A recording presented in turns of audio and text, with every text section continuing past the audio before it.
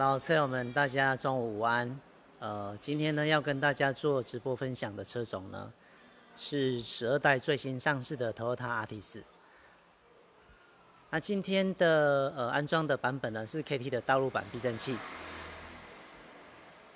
我们先来看一下它原厂的避震器的样式哈，这个是最新的 TNGA 的底盘。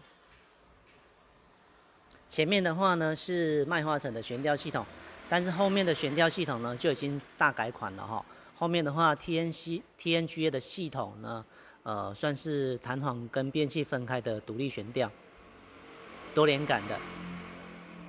那它的后面避震器呢，其实跟一般的日系车呃比较不一样哈，跟反倒是跟欧系车的 Golf 的呃五代、六代的系统呢比较相近。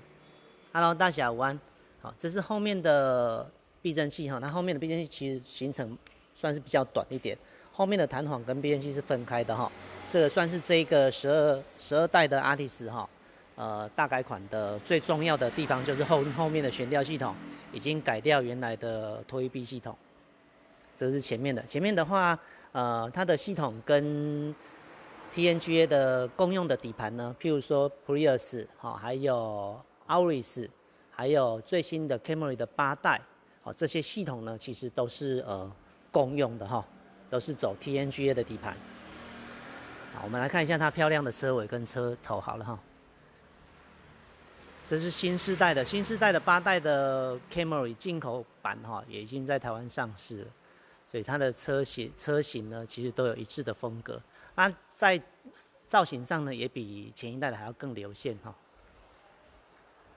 好，我们来看一下车，这个刚刚是车尾的部分，车头，这车超新的哦。来，这车头的部分，呃，有一点走向那个 Lexus 的风格。好，那避震器的前面系统呢，前面是麦花臣的悬吊系统，所以它的上座呢是三颗螺丝。好，上座的话，在这个地方，这里有一个室盖哈，跟 CHR 很像。室盖掀开之后呢，变器的上座呢有锁了三颗螺丝。好，这个地方，所以阻尼的调整呢会在这里，那可以钻一个小孔，就直接可以做阻尼的调整了。所以 KT 的避震器哈，在 Aris 上呢，或者是这一台车 Artis 哈，我们都有附上座。那上座的话呢，使用的是日本 Koyo 的轴承。啊，这个世代呢，一样跟前一代的一样哈，是。一点八升的 NA 引擎，油耗的话，呃，据说也有比前一代更更漂亮。一点八升 NA 款，这个算是诶我们 KT 的首发哈，所以刚好有机会的话就开个直播跟大家分享一下啊安装的一些流程。这个应该是 LED 的大灯的啦，但是详细的配饰的话，可能要看一下原厂的规格表。Hello，直接弯。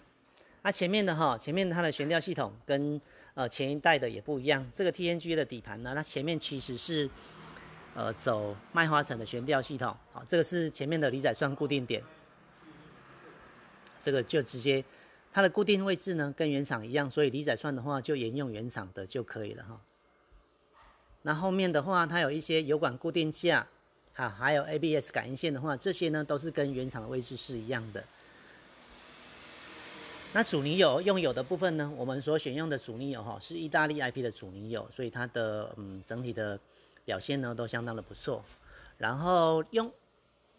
油封的部分的话，使用的是日本 NOK 的油封哦。那前面的话，一点八升的 NA 引擎，我们所配置的弹簧公斤数是七公斤，对这台车来说，哎，算还蛮刚好的，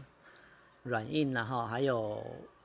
整体操控跟舒适的话，整体表现还蛮均衡的。前面没有什么特别的地方哈，TNGA 就是一般麦花臣，但后面的话悬吊系统呢，算是一个新世代 Toyota 的底盘系统哈，所以后面的话它的系统比较特别。那它的避震器其实整体的长度比较稍微短一点点，这个是很大一颗的避震器的上座。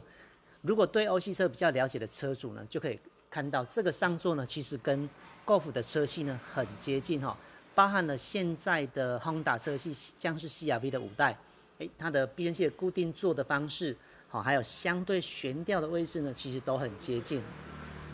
那后面的上座呢是要沿用原厂的哈，它的阻尼调整机构呢就是在这个地方，从这个地方就能够做阻尼的调整。顺时针的话，它变硬；逆时针变软，所以它的后面行程呢，其实比一般的车种呢还要来得短一些。因为它的下座的固定点呢是在比较偏向前面的位置。如果像是 Golf 七代的话呢，它的下手的固定点在下支臂上面哈，所以它的行程呢稍微就比这个长一点点。那相对在这个地方呢，它的行程走的比较短，然后它的阻尼值呢也呃也会稍微比较硬朗一些。其实它原厂的阻尼值就做的比较硬，所以它的整体的底盘表现呢，也相对的比前一代的哈还要来来的好很多。好，这个是固定点。那一些细节的部分，这个像这个防尘套的话，这个是它的轴心比较细哈，所以它的防尘套呢，我们也是做专用的规格，它的密合度相当的好。那里面的话有一个缓冲的馒头，好，所以呃后面的结构呢，要沿用的就只有后面的上座部分。好，所以它的整体长度呢，其实是比较短的哈。那它的后面的呃改装呢，因为今天的车主呢，其实并没有要降低幅度很多哈，就稍微微降而已。所以它的后面的话呢，这个好，这个如果有要降很低的话呢，刚刚有研究过哈，它的束角呢是可以有偏心螺丝能做调整。我们把镜头带到下方哈，哎，这个下支臂的内侧呢，这颗螺丝呢是偏心螺丝。这里的话呢，就能够做投影束角的调整。偏心螺丝虽然偏心螺丝能够调整的幅度不大哈，但是还是可以做调整。可是它的它的仰角呢，当车高降低之后呢，它的如果降幅比较大的时候，它的仰角的角度呢，哦，我刚刚观察了一下，好像没有办法做调整。那也就是说呢，如果车高的降幅有要比较多的车友啊，那这个底盘呢，就建议要改仰角调整器。好，能够把它的呃定位的角度呢，能够做到不吃胎的角度，所以如果有要降低的幅度很多的话呢，它的后面哈原厂大概是呃四十伏左右，而且这一台车还蛮奇怪的，它的右边跟左边的车高呢，原厂的时候有差了大概呃七到八米米左右，右边稍微比较高，我在猜应该是右边跟左边的车重哈有稍微有落差。那目前的油量的话，大概只有剩下呃六分之一到七分之一的油量了。所以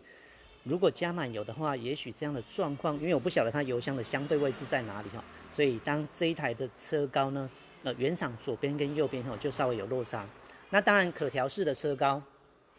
就可以借由这个调整机构呢，来校正它左边跟右边的误差值哈。所以这个是呃在改装上会比较比原厂还要来的有优势的地方。那也就是说呢，它的车高的调整呢，并不是靠筒身来做调整，它的车高调整呢是靠弹簧上方的调整机构来做调整。那这个调整机构，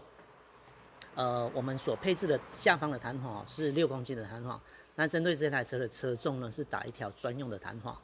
所以这一台的后面我们配置的弹簧公斤数就是六公斤的幅度。那这一台特殊的安装技巧，呃。常常看我们直播的的车友哈，就可以注意到它的后面弹簧跟变速器分开的结构呢，安装的重点就只有一个而已，就是弹簧呢，千万呢不要压缩过多，一旦压缩过多就会不好做。那像昨天的话，也有一些技师哈，呃，来电询问说，昨天的技师是莽六的四代了哈，那他安装的时候呢，弹簧预载过多了，所以就会不好做。那我们的建议方式呢，就是。这个弹簧它有一个固定的长度，它的长度假设这条弹簧我们打的是哦两百三十长，那两百三十 mm 呢，它的预载值呢就不能超过五 mm，所以简单来说呢，就是它的弹簧呢，如果这个筒身镜头拉远哈，如果这个筒身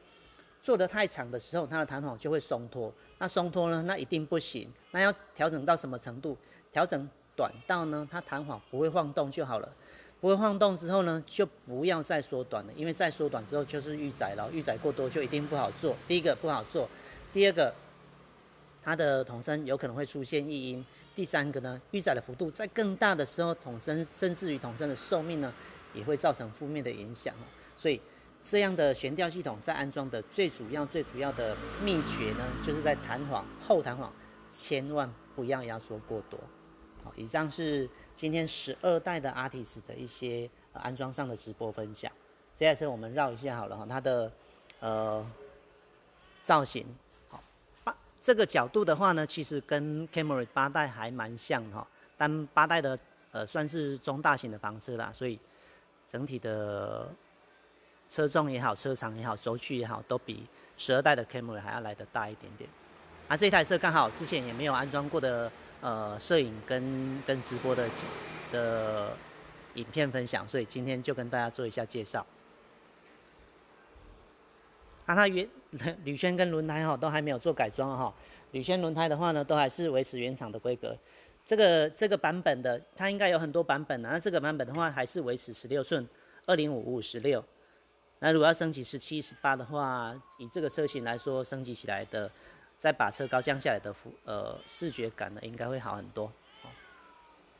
OK，以上是今天十二代 K 呃 Artis 的